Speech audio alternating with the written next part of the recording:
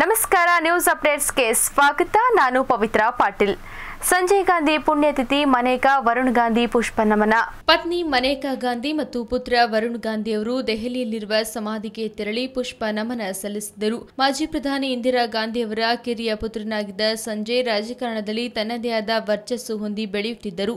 ಮೂವತ್ಮೂರು ವರ್ಷದ ಹರೆಯದಲ್ಲಿ ಹಲೋಕ ತ್ಯಜಿಸಿದ್ದರು ಸಾಕ್ಷರತೆ ಕುಟುಂಬ ಯೋಜನೆ, ಪರಿಸರ ಸಂರಕ್ಷಣೆ, ಜಾತಿವಾದದ ನಿರ್ಮೂಲನೆ, ವರದಕ್ಷಿಣೆ ನಿರ್ಮೂಲನೆ ಕುರಿತಾಗಿ ತಮ್ಮದೇ ಆದ ಕಲ್ಪನೆಗಳನ್ನು ಹೊಂದಿದ್ದ ಸಂಜಯ್ ಗಾಂಧಿ ದೇಶದಲ್ಲಿ ಕ್ರಾಂತಿಕಾರಕ ಬದಲಾವಣೆಗಳನ್ನು ತರುವ ಉದ್ದೇಶವನ್ನ ಹೊಂದಿದ್ದರು. ಸಂಜೆ ಅವರು ಸಾವಿರದ ಒಂಬೈನೂರ ಎಂಬತ್ತರಲ್ಲಿ ದೆಹಲಿಯ ಸಫ್ದರ್ಜಂಗ್ ವಿಮಾನ ನಿಲ್ದಾಣದ ಬಳಿ ನಡೆದ ವಿಶೇಷ ವಿಮಾನ ಅಪಘಾತದಲ್ಲಿ ವಿಧಿವಶರಾಗಿದ್ದರು. ಅವರ ಜೊತೆ ವಿಮಾನದಲ್ಲಿ ಏಕಮಾತ್ರ ಸಿಬ್ಬಂದಿ ಸುಭಾಷ್ ಸಕ್ಸೇನಾ ಅವರು ಸಾವನ್ನಪ್ಪಿದರು.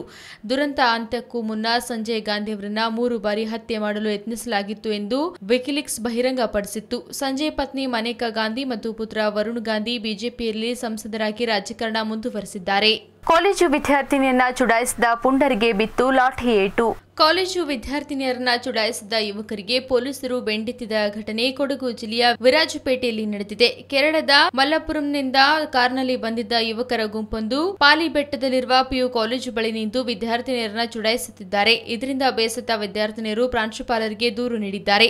ಈ ವಿಚಾರನ ಪ್ರಾಂಶುಪಾಲರು ಪೊಲೀಸರಿಗೆ ತಿಳಿಸಿದ ಹಿನ್ನೆಲೆಯಲ್ಲಿ ಸ್ಥಳಕ್ಕೆ ಬಂದ ಪೊಲೀಸರು ಯುವಕರನ್ನ ಠಾಣೆಗೆ ಕರೆದುಕೊಂಡು ಹೋಗಿ ಲಾಠಿ ರುಚಿ ತೋರಿಸಿದ್ದಾರೆ. ಈ ವಿಡಿಯೋ ಜಾಲತಾಣದಲ್ಲಿ ಹರಿದಾಡ್ತಿದೆ.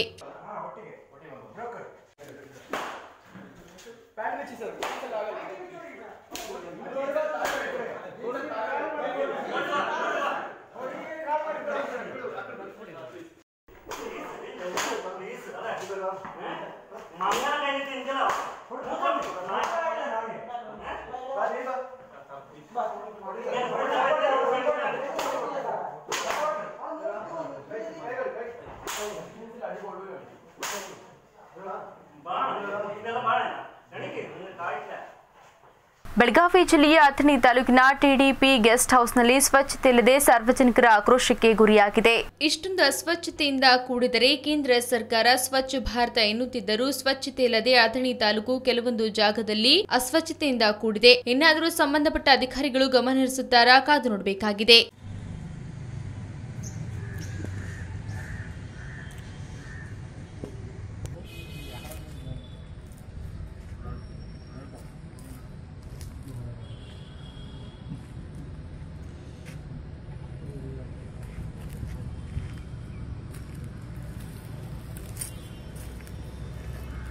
ರೋಗಿಯನ್ನ ಆಸ್ಪತ್ರೆಗೆ ಸಾಗಿಸಲು ನೆರವಾದ ಕೇಂದ್ರ ಸಚಿವೆ, ಬೆಂಗಾವಲು ಆಂಬ್ಯುಲೆನ್ಸ್ ನೀಡಿ ಮಾನವೀಯತೆ.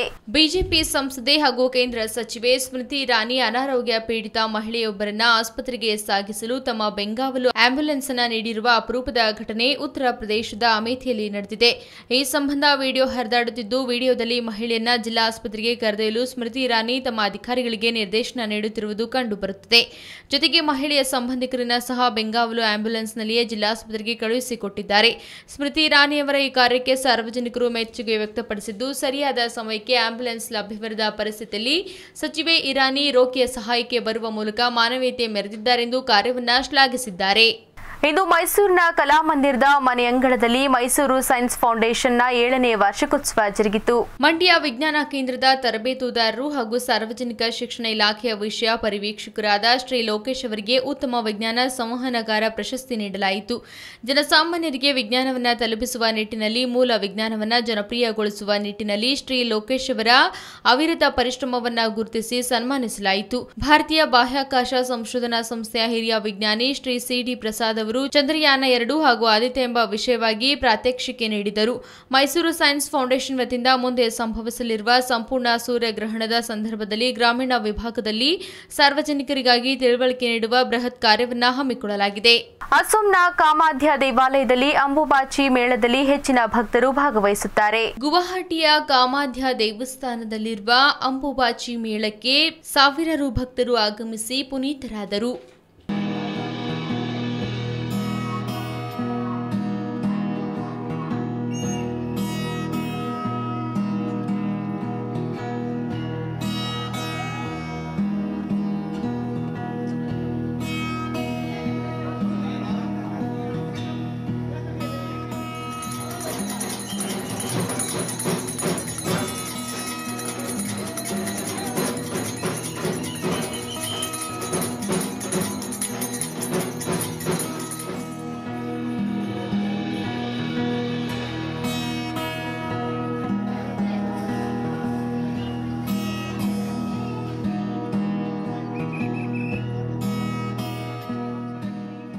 अम्बुबासी एक ऐसा पर्व है जहाँ पर हम लोग जीवन का इहापोह सृष्टि होने के लिए मनुष्य का शरीर पिंडस ब्रह्मांड है इसमें मनुष्य को कुछ खाना चाहिए उस तृप्ति की उर्वरा शक्ति को उत्पन्न करने के लिए माता रजोवती होती है रजोवती होने का मतलब ये है कि यहाँ पर ಕೇಂದ್ರ ವಿತ್ತ ಸಚಿವರಾದ ನಿರ್ಮಲಾ ಸೀತಾರಾಮನ್ ಅವರು ಹಲ್ವಾ ಕಾರ್ಯಕ್ರಮ ಆಯೋಜಿಸುವ ಮೂಲಕ ಬಜೆಟ್ನ ಮುದ್ರಣ ಕಾರ್ಯಕ್ಕೆ ಚಾಲನೆ ನೀಡಿದರು ಈ ಮೂಲಕ ವಿತ್ತ ಇಲಾಖೆಯ ಸಿಬ್ಬಂದಿಯನ್ನ ಬಜೆಟ್ ಪ್ರತಿ ಮುದ್ರಣ ಕಾರ್ಯಕ್ಕೆ ಅಧಿಕೃತವಾಗಿ ತೊಡಗಿಸಿಕೊಂಡರು. ಕೇಂದ್ರ ಬಜೆಟ್ ಮಂಡನೆಯಾಗುವುದಕ್ಕೂ ಕೆಲ ವಾರಗಳಿಗೆ ಮೊದಲು ಹಣಕಾಸು ಇಲಾಖೆಯಿಂದ ಈ ಹಲ್ವಾ ಸಮಾರಂಭವನ್ನು ಆಯೋಜಿಸಲಾಗುತ್ತದೆ. ಸಮಾರಂಭದ ಮೂಲಕ ಕೇಂದ್ರ ಬಜೆಟ್ನ ಪ್ರತಿ ಮುದ್ರಣ ಕಾರ್ಯಕ್ಕೆ ಇಲಾಖೆಯು ಅಧಿಕೃತವಾಗಿ ಚಾಲನೆ ನೀಡುತ್ತದೆ. ಅದರಂತೆ ಈ ಬಾರಿ ನಿರ್ಮಲಾ ಸೀತಾರಾಮನ್ ಅವರು ಹಲ್ವಾ ಕಾರ್ಯಕ್ರಮದ ಮೂಲಕ ಬಜೆಟ್ ಪ್ರತಿ ಮುದ್ರಣ ಕಾರ್ಯಕ್ಕೆ ಚಾಲನೆ ನೀಡಿದರು. ಹಲ್ವಾ ಸಮಾರಂಭದ ಹಿಂದಿನ ಚಾರಿತ್ರಿಕ ಹಿನ್ನೆಲೆಯ ಬಗ್ಗೆ ಸ್ಪಷ್ಟತೆ ಇಲ್ಲ. ಆದರೆ ಯಾವುದೇ ಶುಭ ಕಾರ್ಯ ಆರಂಭಿಸುವುದಕ್ಕೂ ಮೊದಲು ಸಿಹಿ ಹಂಚುವ ಸಂಪ್ರದಾಯದಂತೆ ಹಲವ ಸಮಾರಂಭವು ನಡೆದುಕೊಂಡು ಬಂದಿದೆ. ಕೇಂದ್ರ ಹಣಕಾಸು ಇಲಾಖೆಯ ಪ್ರಕಾರ ಹಲವ ಸಮಾರಂಭ ಎಂದರೆ ಅದು ಇಲಾಖೆಯ ಸಿಬ್ಬಂದಿನ ಬಜೆಟ್ ಪ್ರತಿ ಮುದ್ರಣ ಕಾರ್ಯದಲ್ಲಿ ತೊಡಗಿಸುವುದು ಎಂದೇ ಅರ್ಥ. ದೊಡ್ಡ ದೊಡ್ಡ ಕಡಾಯಿಗಳಲ್ಲಿ ಹಲ್ವಾ ತಯಾರಿಸಿ ಹಣಕಾಸು ಇಲಾಖೆಯ ಸಿಬ್ಬಂದಿ ಅಧಿಕಾರಿಗಳಿಗೆ ಹಂಚಲಾಗುತ್ತದೆ. ಈ ಕಾರ್ಯಕ್ರಮ ಮುಗಿದ ಕೂಡಲೇ ಹಣಕಾಸು ಇಲಾಖೆಯ ಸಿಬ್ಬಂದಿಗಳೆಲ್ಲ ಬಂದಿಗಳಾಗ್ತಾರೆ. ಅಂದರೆ ಬಜೆಟ್ ಪ್ರತಿ ಮುದ್ರಣ ಕಾರ್ಯದಲ್ಲಿ ತೊಡಗಿಸಿಕೊಳ್ಳುತ್ತಾರೆ. ಬಜೆಟ್ ಮುಗಿಯುವವರೆಗೆ ಅವರಿಗೆ ಬಾಹ್ಯ ಜಗತ್ತಿನ ಸಂಪರ್ಕ ಕಡಿತಗೊಳ್ಳುತ್ತದೆ. ಮುದ್ರಣ ಕಾರ್ಯಕ್ಕಾಗಿ ಅವರೆಲ್ಲರೂ ಉತ್ತರ ಬ್ಲಾಕ್ನ ತಳ ಅಂತಸ್ತಿನ ಕಚೇರಿಗೆ ಸ್ಥಳಾಂತರಗೊಳ್ಳುತ್ತಾರೆ. ಬಜೆಟ್ನ ಕುರಿತು ಗೌಪ್ಯತೆಯನ್ನ ಕಾಯ್ದುಕೊಳ್ಳುವುದೇ ಇದರ ಮೂಲ ಉದ್ದೇಶ. ಬಜೆಟ್ ಮುಗಿಯುವವರೆಗೂ ಸಿಬ್ಬಂದಿ ಹೊರಗಿನವರಿಗೊಂದಾಗಲಿ, ಕುಟುಂಬಸ್ಥರೊಂದಿಗಾಗಲಿ ಮಾತನಾಡಲು ಸಾಧ್ಯವಿಲ್ಲ. Email, phone ಸಂಪರ್ಕವೂ ಇರಲಾರದು. ಮೇಲಾಧಿಕಾರಿಗಳು ಮಾತ್ರ ಮನೆಯವರೊಂದಿಗೆ ಸಂಪರ್ಕ ಹೊಂದಿರಬಹುದು. ಬಜೆಟ್ ಪ್ರತಿಗಳು ಸಾವಿರದ ಒಂಬೈನೂರ ಐವತ್ತರವರೆಗೆ ರಾಷ್ಟ್ರಪತಿ ಭವನದಲ್ಲಿ ಮುದ್ರಣವಾಗುತ್ತಿದ್ದವು. ಅದೇ ವರ್ಷ ಪ್ರತಿಗಳು ಸೋರಿಕೆಯಾಗಿದ್ದವು. ಇದೇ ಹಿನ್ನೆಲೆಯಲ್ಲಿ ಉತ್ತರ ಬ್ಲಾಕ್ನ ಮುದ್ರಣ ಕಾರ್ಯ ಸ್ಥಳಾಂತರಗೊಂಡಿತ್ತು. ಅಂದಿನಿಂದ ಮುದ್ರಣ ಅಲ್ಲಿಯೇ ನಡೆಯುತ್ತಿದೆ. ವಿದೇಶಾಂಗ ಇಲಾಖೆಯ ವಕ್ತಾರ ರವೀಶ್ ಕುಮಾರ್ ಮಾತನಾಡಿ, ಭಾರತದ ಪ್ರಜಾಪ್ರಭುತ್ವ ಹಾಗೂ ಕಾನೂನುಗಳ ಬಗ್ಗೆ ಟೀಕೆ ಮಾಡುವ ಅಧಿಕಾರ ವಿದೇಶಿ ಸರ್ಕಾರಗಳಿಗಿಲ್ಲ. ಸಾಂವಿಧಾನಿಕವಾಗಿ ರಕ್ಷಿಸಲ್ಪಟ್ಟ ಜನರ ಹಕ್ಕುಗಳ ಬಗ್ಗೆ ಅವು ಮಾತನಾಡುವಂತೂ ಇಲ್ಲ ಎಂದು ಹೇಳಿದ್ದಾರೆ. ಭಾರತದಲ್ಲಿ ಅಲ್ಪಸಂಖ್ಯಾತರ ಹಕ್ಕುಗಳಿಗೆ ಧಕ್ಕೆಯಾಗ್ತಿದೆ ಎಂಬ ಅಮೆರಿಕದ ವರದಿಗೆ ಭಾರತ ಸರ್ಕಾರ ಕಿಡಿಕಾರಿದೆ. ಭಾರತದ ಪ್ರಜಾಪ್ರಭುತ್ವವನ್ನು ಪ್ರಶ್ನಿಸುವ ಅಧಿಕಾರ ವಿದೇಶಿ ಸರ್ಕಾರಗಳಿಗಿಲ್ಲ ಎಂದು ಖಡಕ್ ಹೇಳಿದೆ. ವಿದೇಶಾಂಗ ಇಲಾಖೆಯ ವಕ್ತಾರ ರವೀಶ್ ಕುಮಾರ್ ಮಾತನಾಡಿ, ಭಾರತದ ಪ್ರಜಾಪ್ರಭುತ್ವ ಹಾಗೂ ಕಾನೂನುಗಳ ಬಗ್ಗೆ ಟೀಕೆ ಮಾಡುವ ಅಧಿಕಾರ ವಿದೇಶಿ ಸರ್ಕಾರಗಳಿಗಿಲ್ಲ. ಸಾಂವಿಧಾನಿಕವಾಗಿ ರಕ್ಷಿಸಲ್ಪಟ್ಟ ಜನರ ಹಕ್ಕುಗಳ ಬಗ್ಗೆ ಅವು ಮಾತನಾಡುವಂತ ಇಲ್ಲ ಎಂದು ಹೇಳಿದ್ದಾರೆ. ಭಾರತ ಒಂದು ಪ್ರಖರ ಪ್ರಜಾಪ್ರಭುತ್ವ ರಾಷ್ಟ್ರ. ಇಲ್ಲಿ ಧಾರ್ಮಿಕ ಸ್ವಾತಂತ್ರ್ಯವನ್ನ ಸಂವಿಧಾನದ ಮೂಲಕ ರಕ್ಷಿಸಲಾಗಿದೆ. ಆಡಳಿತ ಹಾಗೂ ಕಾನೂನುಗಳ ಮೂಲಕ ಮೂಲಭೂತ ಹಕ್ಕುಗಳನ್ನು ಎತ್ತಿ ಹಿಡಿಯಲಾಗ್ತಿದೆ ಎಂಬುದು ಎಲ್ಲರಿಗೂ ಗೊತ್ತು. ನಾನು ಸಹಿಷ್ಣುತೆಗೆ ಬದ್ಧರಾಗಿದ್ದೇವೆ ಎಂದು ಪ್ರತಿಪಾದಿಸಿದ್ದಾರೆ. ಫ್ರಾನ್ಸ್ ರಾಜಧಾನಿ ಪ್ಯಾರಿಸ್ನ ಮಧ್ಯಭಾಗದಲ್ಲಿರುವ ಕಟ್ಟಡವೊಂದರಲ್ಲಿ ಮುಂಜಾನೆ ಸಂಭವಿಸಿದ ಅಗ್ನಿ ದುರಂತದಲ್ಲಿ ಮೂವರು ಮೃತಪಟ್ಟಿದ್ದಾರೆ ಹಾಗೂ ಇಬ್ಬರು ಗಂಭೀರವಾಗಿ ಗಾಯಗೊಂಡಿದ್ದಾರೆ. ಹನ್ನೊಂದನೇ ಜಿಲ್ಲೆಯಲ್ಲಿರುವ ಅಪಾರ್ಟ್ಮೆಂಟ್ ಕಟ್ಟಡದಲ್ಲಿ ಬೆಂಕಿ ದುರಂತ ಸಂಭವಿಸಿದೆ. ಓರ್ವ ವ್ಯಕ್ತಿಯ ಸಾವು ಆರನೇ ಮಹಡಿಯ ಕಿಟಕಿಯಿಂದ ಹೊರಗೆ ಹರಿಯುವುದರಿಂದ ಸಂಭವಿಸಿದೆ ಎಂದು ಅಗ್ನಿಶಾಮಕ ದಳದ ವಕ್ತಾರೊಬ್ಬರು ತಿಳಿಸಿದ್ದಾರೆ. ಮುಂಜಾನೆ ಐದು ಗಂಟೆಗೆ ಬೆಂಕಿ ಹೊತ್ತಿಕೊಂಡಿದ್ದು, ಬೆಂಕಿಯನ್ನು ನಂದಿಸಲು ಇನ್ನೂರು ಅಗ್ನಿಶಾಮಕ ಸಿಬ್ಬಂದಿಗೆ ನಾಲ್ಕು ಗಂಟೆಗಳು ತಗಲಿದವು ಸಾವಿರದ ಒಂಬೈನೂರ ಎಪ್ಪತ್ತರಲ್ಲಿ ನಿರ್ಮಾಣವಾಗಿರುವ ಕಟ್ಟಡದ ವಿನ್ಯಾಸದಿಂದಾಗಿ ಬೆಂಕಿ ನಂದಿಸುವ ಕಾರ್ಯಾಚರಣೆ ಅಡಚಣೆ ಉಂಟಾಯಿತು ಎಂದು ಅಗ್ನಿಶಾಮಕ ಸಿಬ್ಬಂದಿ ಹೇಳಿದ್ದಾರೆ. ಬೆಂಕಿಗೆ ಕಾರಣ ಗೊತ್ತಾಗಿಲ್ಲ. ಸ್ಕೈ ಡೈವರ್ ಸಾಹಸಗರಿಗಿದ್ದ ವಿಮಾನವೊಂದು ಪತನವಾಗಿ ಅದರಲ್ಲಿದ್ದ ಎಲ್ಲ ಹನ್ನೊಂದು ಮಂದಿ ಮೃತಪಟ್ಟಿರುವ ದುರಂತ ಅಮೆರಿಕದ ಓಹಿಯೋ ಪ್ರಾಂತ್ಯದ ಹವಾಯಿ ದ್ವೀಪದಲ್ಲಿ ಸಂಭವಿಸಿದೆ. ಪ್ಯಾರಾಚೂಟ್ ಸಾಹಸದಲ್ಲಿ ಸಾಧನೆಗಳನ್ನ ಮಾಡಿದ್ದ ಹಿರಿಯ ಸೇನಾಧಿಕಾರಿ ಲ್ಯಾರಿ ಲೆಮಾಸ್ಟರ್ ಸೇರಿದಂತೆ ಹನ್ನೊಂದು ಜನರ ಲಘು ವಿಮಾನ ಪತನ ದುರಂತದಲ್ಲಿ ಮೃತಪಟ್ಟಿದ್ದಾರೆಂದು ಹವಾಯಿ ದ್ವೀಪದ ಮೇಯರ್ ತಿಳಿಸಿದ್ದಾರೆ. ಲ್ಯಾರಿ ಲೆಮಾಸ್ಟರ್ ಅವರು ಮೂರು ಸಾವಿರಕ್ಕೂ ಹೆಚ್ಚು ಪ್ಯಾರಾಚೂಟ್ ಜಂಪಿಂಗ್ನಲ್ಲಿ ಸಾಧನೆ ಮಾಡಿದ್ದರು. ಇವರ ನೇತೃತ್ವದಲ್ಲಿ ಒಂಬತ್ತು ಸ್ಕೈ ಡೈವರ್ಗಳು ಹಾಗೂ ಒಬ್ಬ ಪೈಲಟ್ ಈ ವಿಮಾನದಲ್ಲಿದ್ದರು. ಹವಾಯಿ ದ್ವೀಪದ ನಿಸರ್ಗ ಸೊಬಗಿನ ತಾಣದಿಂದ ಸ್ಕೈ ಡೈವರ್ಗಳು ಸಾಹಸ ಜಿಗಿತದಲ್ಲಿ ಭಾಗವಹಿಸಲು ಈ ವಿಮಾನದಲ್ಲಿ ಇದ್ದರು ಈ ವಿಮಾನ ರನ್ವೇಯಿಂದ ಮೇಲೇರಿದ ಕೆಲವೇ ನಿಮಿಷಗಳಲ್ಲಿ ಪತನವಾಗಿ ಸ್ಫೋಟಗೊಂಡಿತ್ತು. ಇದರಲ್ಲಿದ್ದ ಎಲ್ಲರೂ ಸುಟ್ಟು ಕರಕಲಾಗಿದ್ದಾರೆಂದು ಹೊನಲು ಪ್ರದೇಶದ ರಕ್ಷಣಾ ಕಾರ್ಯಾಚರಣೆಯ ಹಿರಿಯ ಅಧಿಕಾರಿಯೊಬ್ಬರು ತಿಳಿಸಿದ್ದಾರೆ. ಘಟನಾ ಸ್ಥಳಕ್ಕೆ ಓಹಿಯೋ ಪ್ರಾಂತ್ಯದ ಗವರ್ನರ್ ಸೇರಿದಂತೆ ಹಿರಿಯ ಅಧಿಕಾರಿಗಳು ದಿಗ್ಭ್ರಮೆ ವ್ಯಕ್ತಪಡಿಸಿದ್ದಾರೆ. ರಾಜಕೀಯ ನಾಟಕ ರಂಗದಲ್ಲಿ ಯಾರು ಹೇಗೆ, ಯಾವಾಗ, ಎಲ್ಲಿ ಇರ್ತಾರೆ ಎಂದು ಹೇಳೋಕೆ ಆಗಲ್ಲ. ಹೀಗೆ ಹೇಳೋಕೆ ಆಗದಂತೆ ಸಚಿವ ಜಿಟಿ ದೇವೇಗೌಡ ಹಾಗೂ ಮೈಸೂರು ಕೊಡಗು ಸಂಸದ ಪ್ರತಾಪ್ ಸಿಂಹ ಸಾಕ್ಷಿಯಾಗಿದ್ದಾರೆ. ರಾಜಕೀಯ ಪಕ್ಷಭೇದ ಮರೆತು ನಾಯಕರು ಕಾರ್ಯಕ್ರಮವೊಂದಕ್ಕಾಗಿ ಒಟ್ಟಿಗೆ ಕಾರಿನಲ್ಲಿ ತೆರಳಿ ಕಾರ್ಯಕ್ರಮ ಮುಗಿಸಿ ಒಟ್ಟಿಗೆ ಊಟ ಮಾಡಿ ಕುತೂಹಲ ಮೂಡಿಸಿದ್ದಾರೆ.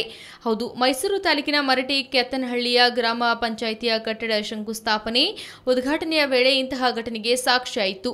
ಇದೇನಪ್ಪ, ಜೆಡಿಎಸ್ನ ಉನ್ನತ ಶಿಕ್ಷಣ ಸಚಿವ ಜಿಟಿ ದೇವೇಗೌಡ ಹಾಗೂ ಮೈಸೂರು ಕೊಡಗು ಸಂಸದ ಪ್ರತಾಪ್ ಸಿಂಹ ಒಂದಾಗಿದ್ದಾರೆ. ಈ ಮೂಲಕ ಜೆಡಿಎಸ್, ಬಿಜೆಪಿ ಜಿಲ್ಲೆಯಲ್ಲಿ ಒಂದೇ ಆಗಿಬಿಡ್ತಾ ಎಂಬ ಅಚ್ಚರಿಗೂ ಕಾರಣವಾದರು. ಮೈಸೂರು ಜಿಲ್ಲೆಯ ಚಾಮುಂಡೇಶ್ವರಿ ಕ್ಷೇತ್ರದಲ್ಲಿನ ವಿವಿಧ ಕಾರ್ಯಕ್ರಮಗಳಿಗೆ ಚಾಲನೆ, ಉದ್ಘಾಟನೆಯ ಕಾರ್ಯಕ್ರಮಕ್ಕೆ ಇಂದು ಸಚಿವ ಜಿಟಿ ದೇವೇಗೌಡ ಹಾಗೂ ಸಂಸದ ಪ್ರತಾಪ್ ಸಿಂಹ ಒಟ್ಟಿಗೆ ಕಾರಿನಲ್ಲಿ ತೆರಳಿದರು. ಮೈಸೂರು ತಾಲೂಕಿನ ಮರಟಿ ಕ್ಯಾತನಹಳ್ಳಿಯ ಗ್ರಾಮ ಪಂಚಾಯಿತಿ ಕಟ್ಟಡದ ಶಂಕುಸ್ಥಾಪನೆ ಉದ್ಘಾಟನೆಯನ್ನು ಒಟ್ಟಾಗಿ ನೆರವೇರಿಸಿದರು. ಈ ಬಳಿಕ ಸ್ನೇಹಿತರ ಮನೆಗೆ ಭಾನುವಾರದ ದಿನವಾದ ಇಂದು ತೆರಳಿದ ಸಚಿವ ಜಿಟಿಡಿ ಹಾಗೂ ಪ್ರತಾಪ್ ಸಿಂಹ ಅಕ್ಕಪಕ್ಕದಲ್ಲೇ ಕುಳಿತು ಬಾಡೂಟದ ಸವಿಯನ್ನ ಸವಿದರು. ಎಸ್ಎಸ್ವಿ ವಾಹಿನಿಯ ಅಡಿಯಲ್ಲಿ ಹೊಸದಾಗಿ ನಿರ್ಮಾಣಗೊಳ್ಳುತ್ತಿರುವ ಕನ್ನಡದ ಚಲನಚಿತ್ರ ಕಾಲಜ್ಞಾನ ಮುಹೂರ್ತ ಅದ್ಧೂರಿಯಾಗಿ ಸೆಟ್ಟೇರಿತು. ಕಲಬುರಗಿ ನಗರದ ಕೋರಂಟಿ ಜೈ ಹನುಮಾನ ಮಂದಿರದಲ್ಲಿ ಹೊಚ್ಚ ಹೊಸ ಕನ್ನಡ ಚಲನಚಿತ್ರ ಕಾಲಜ್ಞಾನ ಚಿತ್ರದ ಮುಹೂರ್ತ ಸೆಟ್ಟೇರಿತು. ಕಲಬುರಗಿಯ ಸಂಸದ ಡಾಕ್ಟರ್ ಉಮೇಶ್ ಜಾಧವ್ ಅವರು ಮುಹೂರ್ತಕ್ಕೆ ಚಾಲನೆ ನೀಡಿ ಚಿತ್ರತಂಡಕ್ಕೆ ಹಾರೈಸಿದರು. ಸಿನಿಮಾದ ಮುಹೂರ್ತ ಸಮಾರಂಭಕ್ಕೆ ವಿಧಾನ ಪರಿಷತ್ ಸದಸ್ಯ ತಿಪ್ಪಣ್ಣಪ್ಪ ಕಮಕ್ನೂರ್ ಅವರು ಆಕ್ಷನ್ ಕಟ್ ಹೇಳಿದರು. ಮುಹೂರ್ತ ಕಾರ್ಯಕ್ರಮಕ್ಕೆ ಭಾಗಿಯಾದ ಎಲ್ಲ ಅತಿಥಿ ಗಣ್ಯರಿಗೆ ಶಾಲು ಹೊದಿಸಿ ಗೌರವಿಸಲಾಯಿತು. ಗ್ರಾಮೀಣ ಮತಕ್ಷೇತ್ರದ ಶಾಸಕ ಬಸವರಾಜ್ ಮತ್ತಿಮೂಡ್ ಜಿಲ್ಲಾ ಪಂಚಾಯತ್ ಅಧ್ಯಕ್ಷೆ ಸುವರ್ಣ ಮಾಲಾಜಿ ಎಸ್ಎಸ್ವಿ ಸುದ್ದಿವಾಹಿನಿಯ ಸಂಸ್ಥಾಪಕರು ಶಂಕರ್ ಕೋಡ್ಲಾ ವಿಜೇಂದ್ರ ಕೋಡ್ಲಾ ಹಾಗೂ ಚಿತ್ರದ ನಿರ್ಮಾಪಕ ವಿನಾಯಕ್ ಕೋಡ್ಲಾ ಸೇರಿದಂತೆ ಕಾಲಜ್ಞಾನ ಚಿತ್ರದ ನಿರ್ದೇಶಕ ಹಾಗೂ ನಾಯಕ ನಟ ರೂಪೇಶ್ ಜೀರಾವ್ ಕುರಿಬಾಂಡ್ರಂಗ ಮೈಸೂರು ರಮಾನಂದ್ ವೆಂಕಟೇಶ್ ಇದ್ದರು. ನಟಿಯರಾದ ಅರ್ಚನಾ ಅಮೃತ ಹಾಗೂ ದ್ರವ್ಯ ಶೆಟ್ಟಿ ಛಾಯಾಗ್ರಾಹಕರಾದ ಜಿ ರೇಣುಕುಮಾರ್ ಸಂಕಲಕಾರ ನಾಗರಾಜ್ ಹಳ್ಳ ಚಿತ್ರತಂಡದ ಎಲ್ಲ ಕಲಾವಿದರು ಹಾಗೂ ತಂತ್ರಜ್ಞರು ಹಾಜರಿದ್ದರು. ಇವತ್ತು ಬಹಳ ಸಂತೋಷದಿಂದ ನಾವು ಈ ಕಾಲ ಜ್ಞಾನ ಈ ಸಿನಿಮಾದ ಒಂದು ಪ್ರಾರಂಭ ಪ್ರಾರಂಭೋತ್ಸವಕ್ಕೆ ಬಂದಿದ್ದೀವಿ. ನಮ್ಮ ಕೋಡ್ಲಾ ಸಾಹೇಬರು ನಮ್ಮ ಗುಲ್ಬರ್ಗಾದ ಒಂದು ವಿಶಿಷ್ಟ ದೇವಾಲಯ ಕೋರಂಟಿ ಹನುಮನ್ ದೇವ್ರುಗಳು ಯಾಕೆ ನಾವು ಸಣ್ಣವರಿದ್ದಾಗ ವಿದ್ಯೋದಯ ಶಾಲೆಗೆ ಇಲ್ಲೇ ಕಲಿತಿದ್ವಿ. ಶನಿವಾರ ಶನಿವಾರ ಬಂದು ದರ್ಶನ ತೊಗೊಂಡು ಹೋಗ್ತಿದ್ವಿ. ಅದಕ್ಕೆ ನಾವು ಎಂ ಪಿ ಆಗ್ಲಿಕ್ಕೆ ಕಾರಣ ಮತ್ತು ಎಂ ಎಲ್ ಎ ಆಗ್ಲಿಕ್ಕೆ ಅದೇ ಕಾರಣ. ಅದು ಇದು ಫಿಲಿಮ್ ಕೂಡ ಇದೇ ರೀತಿ ಒಳ್ಳೆ ರೀತಿಯಿಂದ ಸಕ್ಸಸ್ ಸಕ್ಸಸ್ ಆಗಲಿ ನೂರು ದಿವಸಕ್ಕಿಂತ ಜಾಸ್ತಿ ನಡೀಲಿ. ನಮ್ಮ ಕೋಡ್ಲಾ ಸಾಹೇಬರ ಹೆಸರು ಪೂರ ಕರ್ನಾಟಕದಲ್ಲಿ ಆಲ್ ಇಂಡಿಯಾ ಲೆವೆಲಲ್ಲಿ ಆಗಬೇಕಂತೇಳಿ ನಾನು ಹಾರೈಸ್ತೀನಿ. ನನ್ನ ಹೆಸರು ಅಮೃತ ಅಂತ. ಫ್ರಮ್ ಬೆಲ್ಗಾಮ್ ಇವತ್ತಿನ ಮೂವಿ ಮೂವಿಯಲ್ಲಿ ಹೀರೋಯಿನಾಗಿ ಸೆಲೆಕ್ಷನ್ ಆಗಿದ್ದೀನಿ ನಾನು. ಮೂವಿ ಚೆನ್ನಾಗಿ ಹಿಟ್ ಹಿಟ್ಟಾಗಲಿ ಹಂಡ್ರೆಡ್ ಡೇಸ್ ಓಡಲಿ ಅಂತ ಹೇಳಿ ಕೇಳ್ಕೊತೀನಿ. ಇನ್ನು ಈಗ ಶುರು ಮಾಡ್ತಿದ್ದೀನಿ, ಚೆನ್ನಾಗಿ ಅನಿಸ್ತೈತಿ ಇನ್ನು ಮುಂದೆ ನೋಡೋಣ ಏನಾಗುತ್ತೆ ಅಂತ ಹೇಳಿ. ಖುಷಿ ಆಗ್ತೈತಿ ಎಲ್ಲರೂ ಒಳ್ಳೆಯರಿದ್ದಾರೆ ಚೆನ್ನಾಗಿ ಕೋಪ್ರೇಟ್ ಮಾಡ್ತಾರೆ ಸಪೋರ್ಟ್ ಮಾಡ್ತಾರೆ. ಒಳ್ಳೆಯವ್ರಿದ್ದಾರೆ ಎಲ್ಲರೂ.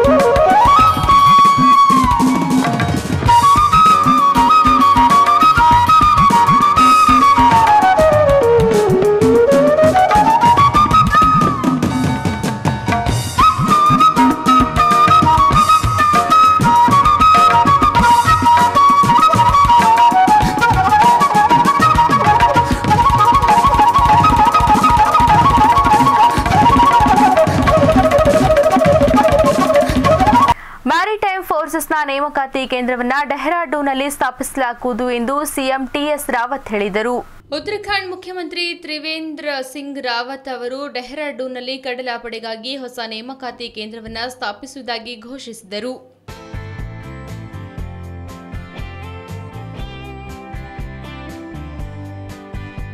हमारे अ, युवा जो कोस्ट गार्ड में जाकर के देश की सेवा करना चाहते हैं उनका एक अवसर मिलेगा और दीर्घ काल तक मिलेगा, लंबे समय तक मिलेगा। एक स्थायी व्यवस्था है कार्यालय की देहरादून में और इससे हमारे जो नौजवान हैं, उनको एक तो रोज़गार का अवसर प्राप्त होगा। भवन निर्माण के लिए 25 करोड़ रुपया और 17 करोड़ रुपया जो भूमि है, उसकी कीमत भी कोस्ट गार्ड के द्वारा राज्य सरकार को दी जा रही है। तो मैं समझता हूँ कि बहुत बड़ी उपलब्धि है, बहुत बड़ी भेंट है। और ये देश का पाँचवा सेंटर होगा रिक्रूटिंग सेंटर जो उत्तराखंड में खुलने जा रहा है ये रिक्रूटमेंट सेंटर देहरादून में अ, जो है चार राज्यों के लिए है उत्तराखंड हिमाचल हरियाणा एंड उत्तर प्रदेश और यहाँ साल में दो बार जो है रिक्रूटमेंट होंगे ಸ್ನೇಹಿತನಂತೆ ನಂಬಿಸಿ ಟ್ರಿಪ್ ಹೋಗಲೆಂದು ಕಾರು ಪಡೆದು ನಲ್ಲಿ ಅದನ್ನ ಮಾರಾಟ ಮಾಡ್ತಿದ್ದ ಕಾರು ಇಲ್ಲ, ಮೊಬೈಲ್ ಕೂಡ ಸ್ವಿಚ್ ಆಫ್ ಆದಾಗ ಮೋಸ ಹೋದ ಪ್ರಕರಣ ಬೆಳಕಿಗೆ ಬರೆದಿದ್ದವು. ಟ್ರಿಪ್ ಹೋಗಿ ಬರ್ತೀನಿ ಅಂತ ಗೆಳೆಯರ ಬಳಿ ಕಾರ್ ಪಡೆದು ನಲ್ಲಿ ಮಾರಾಟ ಮಾಡ್ತಿದ್ದ ವ್ಯಕ್ತಿನ ಬಂಧಿಸುವಲ್ಲಿ ಕಾಮಾಕ್ಷಿಪಾಳ್ಯ ಪೊಲೀಸರು ಯಶಸ್ವಿಯಾಗಿದ್ದಾರೆ. ಮೂವತ್ತು ವರ್ಷದ ಕನಕ್ಪುರದ ಚರಣ್ ರಾಜ್ ಬಂಧಿತ ವ್ಯಕ್ತಿ. ಈತ ಐಷಾರಾಮಿ ಕಾರ್ ಹೊಂದಿರುವುದನ್ನ ಟಾರ್ಗೆಟ್ ಮಾಡಿ ಫೇಸ್ಬುಕ್ ಸ್ನೇಹಿತರನ್ನಾಗಿ ಮಾಡಿಕೊಳ್ತಿದ್ದ. ಬಳಿಕ ಅವರನ್ನ ಮನೆಗೆ ಕರೆಯಿಸಿ ಕಾಫಿ ತಿಂಡಿ ಕೊಟ್ಟು ವಿಶ್ವಾಸ ಗಿಟ್ಟಿಸುತ್ತಿದ್ದ. ಆಮೇಲೆ ಮೂರ್ನಾಲ್ಕು ತಿಂಗಳಲ್ಲಿ ಅವರೊಂದಿಗೆ ಸ್ನೇಹಿತನಂತೆ ನಂಬಿಸಿ ಕಾರ್ ಟ್ರಿಪ್ ಹೋಗೋದಕ್ಕೆಂದು ಪಡೆದು ಓಎಲ್ಎಕ್ಸ್ನಲ್ಲಿ ಅದನ್ನ ಮಾರಾಟ ಮಾಡ್ತಿದ್ದ. ಇತ್ತ ಕಾರು ಇಲ್ಲ, ಮೊಬೈಲ್ ಕೂಡ ಸ್ವಿಚ್ ಆಫ್ ಆದಾಗ ಮೋಸ ಹೋದ ವಿಚಾರ ಬೆಳಕಿಗೆ ಬರ್ತಿತ್ತು. ಸದ್ಯ ರುದ್ರೇಶ್ ಎಂಬುವರು ಈತನನ್ನ ನಂಬಿ ತಮ್ಮ ಕಾರ್ ನೀಡಿದ್ರು. ಆದ್ರೆ ಕಾರು ಸಮೇತ ಚರಣ್ ಎಸ್ಕೇಪ್ ಆಗಿದ್ದ ಈ ಕುರಿತು ಕಾಮಾಕ್ಷಿಪಾಳ್ಯ ಪೊಲೀಸರಿಗೆ ದೂರು ನೀಡಿದ್ದರು. ಈ ಬಗ್ಗೆ ಬಲೆ ಬೀಸಿದ ಪೊಲೀಸರು ಕೊನೆಗೂ ಆರೋಪಿನ ಬಂಧಿಸಿದ್ದಾರೆ. ಅಷ್ಟೆಲ್ಲ ಹನ್ನೆರಡು ಕಾರು ಮತ್ತು ಮೂರು ನ ಕೂಡ ವಶಪಡಿಸಿಕೊಂಡು ತನಿಖೆ ಮುಂದುವರೆಸಿದ್ದಾರೆ. ಮದುವೆಯ ಆರಕ್ಷತೆ ಮುಗಿಸಿಕೊಂಡು ಹಿಂತಿರುಗುವಾಗ ಮರಕ್ಕೆ ಇಂಡಿಕಾ ಕಾರು ಡಿಕ್ಕಿ ಹೊಡೆದ ಪರಿಣಾಮ ಸ್ಥಳದಲ್ಲಿ ಇಬ್ಬರು ಸಾವನ್ನಪ್ಪಿದ್ದು ಆಸ್ಪತ್ರೆಗೆ ಸಾಗಿಸುವ ಮಾರ್ಗ ಮಧ್ಯೆ ಮತ್ತೋರ್ವ ವ್ಯಕ್ತಿ ಸಾವನ್ನಪ್ಪಿದ್ದಾರೆ. ಐದು ಜನ ಸಂಚರಿಸುತ್ತಿದ್ದ ಇಂಡಿಕಾ ಕಾರೊಂದು ಅತಿ ವೇಗವಾಗಿ ಬಂದು ಮರಕ್ಕೆ ಡಿಕ್ಕಿ ಹೊಡೆದ ಪರಿಣಾಮ. ಮೂವರು ಸಾವನ್ನಪ್ಪಿದ್ದು ಇಬ್ಬರು ಗಾಯಗೊಂಡಿರುವ ಘಟನೆ ಮಾಗಡಿ ಕುಣಿಗಲ್ ರಸ್ತೆಯ ಜನತಾ ಕಾಲೋನಿ ತಿರುವಿನಲ್ಲಿ ನಡೆದಿದೆ. ಮೃತರನ್ನ ಕಾಮಸಾಗರದ ಇಪ್ಪತ್ತೆಂಟು ವರ್ಷದ ಕುಮಾರ್, ಶ್ರೀಪತಿಹಳ್ಳಿಯ ಮೂವತ್ತಾರು ವರ್ಷದ ನರ್ಸಮ್ಮ, ತಾಳೆಕೆರೆಯ ನಲವತ್ತಾರು ವರ್ಷದ ಜಯಲಕ್ಷ್ಮಮ್ಮ ಎಂದು ಗುರುತಿಸಲಾಗಿದೆ. ಕರೇನಹಳ್ಳಿಯಲ್ಲಿ ಮದುವೆ ಆರಕ್ಷತೆ ಮುಗಿಸಿಕೊಂಡು ತಾಳೆಕೆರೆಗೆ ಹೋಗುವಾಗ ದುರಂತ ಸಂಭವಿಸಿದೆ. ಮಾಗಡಿ ಕುಣಿಗಲ್ ರಸ್ತೆಯ ಹುಚ್ಚು ಹನುಮೇಗೌಡ ಪಾಳ್ಯದ ಬಳಿ ಮರಕ್ಕೆ ಇಂಡಿಕಾ ಕಾರು ಡಿಕ್ಕಿ ಹೊಡೆದಿದೆ. ಮಾಗಡಿ ಸರ್ಕಾರಿ ಆಸ್ಪತ್ರೆಯಲ್ಲಿ ಮೃತದೇಹಗಳನ್ನ ಇಡಲಾಗಿದೆ. ಕಾರ್ನಲ್ಲಿದ್ದ ಮತ್ತಿಬ್ಬರಾದ ಪ್ರಶಾಂತ್, ಗಂಗಲಕ್ಷ್ಮಮ್ಮ ಗಂಭೀರವಾಗಿ ಗಾಯಗೊಂಡಿದ್ದು ಸ್ಥಳೀಯ ಆಸ್ಪತ್ರೆಗೆ ದಾಖಲು ಮಾಡಲಾಗಿದೆ. ಈ ಕುರಿತು ಮಾಗಡಿ ಠಾಣೆ ಪೊಲೀಸರು ದೂರು ದಾಖಲಿಸಿಕೊಂಡಿದ್ದಾರೆ. ಪೂರ್ವ ದೆಹಲಿಯ ವಸುಂಧರಾ ಎನ್ಕ್ಲೇವ್ನಲ್ಲಿ ಕಾರ್ನಲ್ಲಿ ಹೋಗುತ್ತಿದ್ದ ಪತ್ರಕರ್ತೆಯ ಮೇಲೆ ಮುಸುಗುದಾರಿ, ದುಷ್ಕರ್ಮಿಗಳು ಗುಂಡಿನ ದಾಳಿ ನಡೆಸಿದ ಘಟನೆ ನಡೆದಿದೆ. ಮಿಥಾಲಿ ಚಂದೌಲಾ ಎಂಬ ಪತ್ರಕರ್ತೆ ಮಧ್ಯರಾತ್ರಿ ಹನ್ನೆರಡು ಮೂವತ್ತರ ಬಳಿಕ ಹುಂಡೆ ಕಾರ್ನಲ್ಲಿ ನೋಯ್ಡಾದಿಂದ ಹೋಗುತ್ತಿದ್ದಾಗ ಅವರ ವಾಹನವನ್ನ ಹಿಂದಿಕ್ಕಿದ್ದ ಮಾರುತಿ ಸ್ವಿಫ್ಟ್ ಕಾರ್ನಲ್ಲಿದ್ದ ದುಷ್ಕರ್ಮಿಗಳು ಈ ಕೃತ್ಯ ಎಸಗಿದ್ದಾರೆ. ಕಾರ್ನಲ್ಲಿದ್ದ ಮುಸುಗುಧಾರಿಗಳು ಎರಡು ಸುತ್ತು ಗುಂಡು ಹಾರಿಸಿದ್ದಾರೆ. ಮುಂಬದಿಯ ಕಿಟಕಿ ಗಾಜಿಗೆ ಬಡಿದ ಒಂದು ಗುಂಡು ಮಿಥಾಲಿ ಕೈಗೆ ತಾಕಿದೆ. ಕಾರ್ನಲ್ಲಿ ದಾಳಿಕೋರರು ಪರಾರಿಯಾಗುವ ಮುನ್ನ ಇವರ ಕಾರ್ನ ಮುಂದಿನ ಗಾಜಿನತ್ತ ಮೊಟ್ಟೆ ಎಸೆದಿದ್ದಾರೆ ಎಂದು ಪೊಲೀಸರು ನೀಡಿದ ದೂರಿನಲ್ಲಿ ವಿವರಿಸಲಾಗಿದೆ. ಧರ್ಮಶೀಲ ಆಸ್ಪತ್ರೆಯಲ್ಲಿ ಪತ್ರಕರ್ತೆ ಚಿಕಿತ್ಸೆ ಪಡೆಯುತ್ತಿದ್ದು, ಅವರು ಅಪಾಯದಿಂದ ಪಾರಾಗಿದ್ದಾರೆಂದು ಪೊಲೀಸರು ಹೇಳಿದ್ದಾರೆ. ಪ್ರಕರಣದ ಬಗ್ಗೆ ತನಿಖೆ ನಡೆಯುತ್ತಿದ್ದು, ದರೋಡೆ ಮಾಡುವ ಸಲುವಾಗಿ ಗಾಜಿಗೆ ಮೊಟ್ಟೆ ಎಸೆಯುವ ಪ್ರಕರಣದಲ್ಲಿ ಯಾವುದೋ ಗುಂಪು ತೊಡಗಿದೆ ಎಂದು ಪತ್ತೆ ಹಚ್ಚಲಾಗುತ್ತಿದೆ ಎಂದು ಮೂಲಗಳು ಹೇಳಿವೆ. ಇದಕ್ಕೆ ವೈಯಕ್ತಿಕ ದ್ವೇಷ ಕಾರಣವಿರಬಹುದು ಎಂಬ ಅಂಶದ ಬಗ್ಗೆಯೂ ತನಿಖೆ ನಡೆಯುತ್ತಿದೆ. ಚಂದೋಲಾ ಕುಟುಂಬದೊಂದಿಗೆ ಉತ್ತಮ ಸಂಬಂಧ ಹೊಂದಿರಲಿಲ್ಲ ಎನ್ನಲಾಗಿದೆ. ಮೇಲ್ನೋಟಕ್ಕೆ ಇದು ಕುಟುಂಬ ವ್ಯಾಜ್ಯದ ಪ್ರಕರಣವಿರಬಹುದು ಎಂದು ಪೊಲೀಸ್ ಅಧಿಕಾರಿ ಜಸ್ಮಿತ್ ಸಿಂಗ್ ಅಭಿಪ್ರಾಯಪಟ್ಟಿದ್ದಾರೆ. ಇದು ಈ ಹೊತ್ತಿನ ಅಪ್ಡೇಟ್ಸ್. ಹೀಗೆ ನೋಡ್ತಾ ಇರಿ.